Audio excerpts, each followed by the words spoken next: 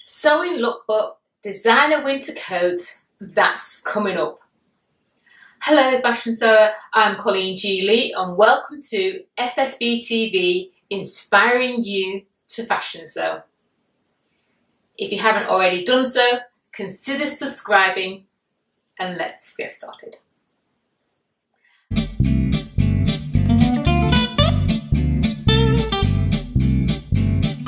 Hello Fashion Sewer!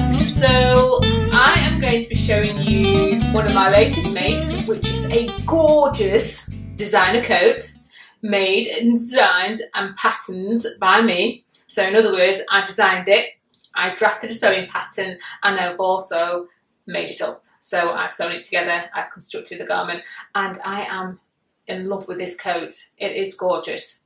Now, some time ago, I did a video on uh, fabric haul, my latest fabric haul, and on it was this gorgeous fabric. And so I talked through the fabric in that video. What I'll do is I'll put a link to that video below and I'll also put a link to that video where you see this eye here. So you can um, go and see the types of fabrics that I'm making as part of this collection of this gorgeous coat. So here's my little sketch that I did and it is um, a straight silhouette which is more or less in keeping with my body shape, my body type and um, I've changed up a little bit because I wasn't sure about the pockets, whether I was going to go for a patch pocket or a welt pocket and also whether I was going to have buttons and I decided not to go ahead with the buttons. So on my little design sheet I've got that information. So um, yeah, so that is what the design was going to, the coat was going to more or less look like. The reason why you can see a little squiggle there, that's supposed to be a bag. So I knew I was going to make a bag with this coat because of the fabric that I had. I didn't want any excess fabric because, um, yeah, it's one of the things that happens when you are making clothes for yourself. You tend to buy maybe a little bit more fabric than you actually need. So yeah, I ended up making a gorgeous bag that goes with it too. So what I'm going to do is to show you um, my coat and then I'll also show you my gorgeous handbag which I've made, I'm so proud of. Um, some of the construction ideas um, that are in my bag which I'll talk about a little bit um, later once I've talked about my coat. So I'll show you a little bit about my coat and why I love it so much and I've also done a little video um, of me styling the coat. So there's a couple of different ways you can actually wear my gorgeous designer coat. So let me just show you some of the techniques that are in this coat. So here we have my coat. And the first thing I'm going to be showing you is the patch pocket. Now um, this is a pocket that is hand sewn, basic because I didn't want any top stitching to be on the front of the garment. So it was worth hand sewing this patch pocket. And I've also haven't put the opening to the top of the pocket. So um, because I wanted it to be a much more relaxed look to the coat and how I'm going to wear it. So I put the opening to the side and it, it really works well. When you see the video of me modelling it, um, you can see out with ease, you can put your hands in and they just relax around you know your waist level, your hip level. So I do like that rather than being at the top where it's in front. So that is great. Um, it, it is, it has two, it's a two piece sleeve so we've got a seam going here and also a seam on the other side, which I love. Um, you tend to get a better fit when it's a two-piece sleeve in regards to a one-piece sleeve. And they also have side slits at the side. Oh, the slits are amazing. They just add another dimension to the coat. So I've got this beautiful side slits on either side. And the inspiration came from a duster coat kind of inspiration. Duster coats traditionally have a slit down the back. Um, but like I said, it was inspired by a duster coat. So if I was going to do this coat again, which is more than likely will be the case, I'll definitely bring the slit a little higher and see how that looks. Because I do like it when I was fitting the garment. It was a case of, hmm, if you put this slit a little bit higher, you know, it creates a different look. Um, so I definitely see myself making another garment with the slits a little bit higher and being experimental. Now there's also a bust dart as well, like runs here. And it's, it's, it's a soft tailored coat and it's slightly oversized, um, which is what I was looking for. And um, the bust darting needs to be there because you don't want that, because it's quite a bulky fabric, you don't want that extra bulk under the armpit. So yeah, it's got a nice um, bust dart there. And also the coat, it's not edge to edge because I was in two minds about whether or not I was going to put buttons on this or not. Um, and um, I just thought it's just overpowering the button because the coat itself is beautiful in its shape and also the fabric and the colour. I didn't want it to take away from that, so I decided not to have my buttons on there. But you never know if I it makes coat again. I probably would put buttons on there, um, depending on the fabric, because um, sometimes fabric talks to you. Seriously, they do. Well, they talk to me anyway, and it's like um, a situation like, really, you're gonna put that on me? And it was like, okay, maybe not. So yeah, I decided against that, and it was the right decision to make. So even though I don't have any fastenings on the coat itself, how I fasten this is with a tie belt and also I've got this beautiful narrow leather belt with a gold buckle that looks beautiful on this coat and I'll always wear it with this coat. So yeah, and I've also lined the coat. Gorgeous lining. It's, it's gorgeous, absolutely gorgeous.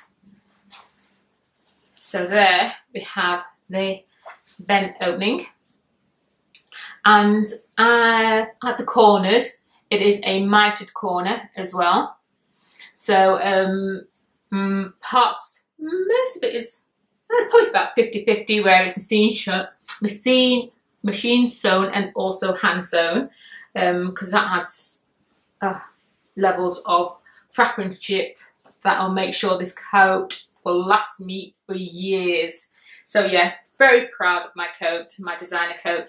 So moving on for my coat is my bag. Oh, careful.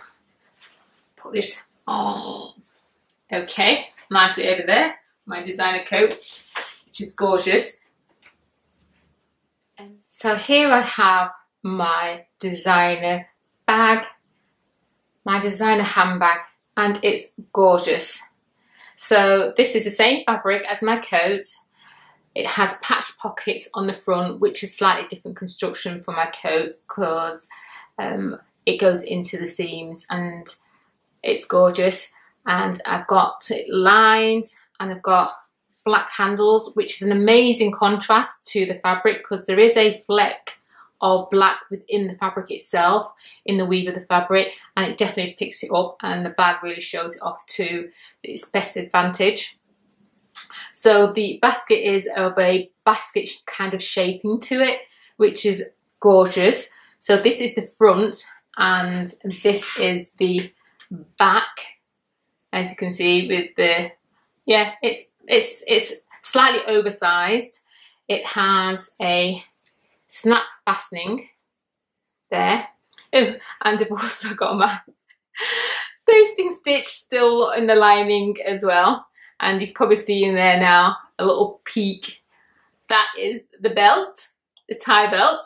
So it has black lining inside and there's my tie belt um, which you will see shortly in the video of me styling this coat and just gorgeous black lining and I've got to remember to remove my basting stitch but as you can see it's um yeah it's a lovely basket shaping to it and it's it's gorgeous and it's amazing. It sets my coat off to a T. The coat sets the bag off to um, to a T paired together.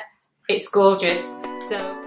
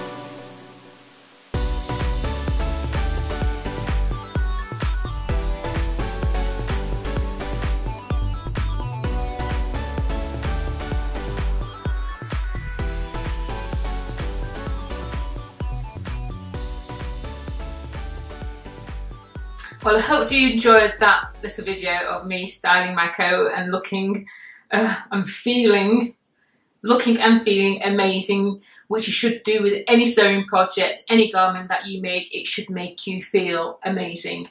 And that coat and bag, oh, I can't wait to take it out, take her out and wear her and show her off and yeah, um, great fit.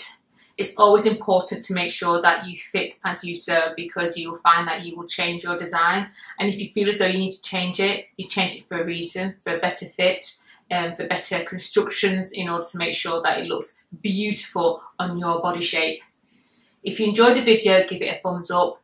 Do remember to visit my community page, the community feature, because I will be uploading any projects that I sew on that page first before I do it on any other social media platform. So do visit that. I want to make sure it becomes very interactive within the FSB TV community. And I'll be sharing lots of information behind the scenes um, as I go through that community page. So it's a new, new-ish feature to YouTube creators.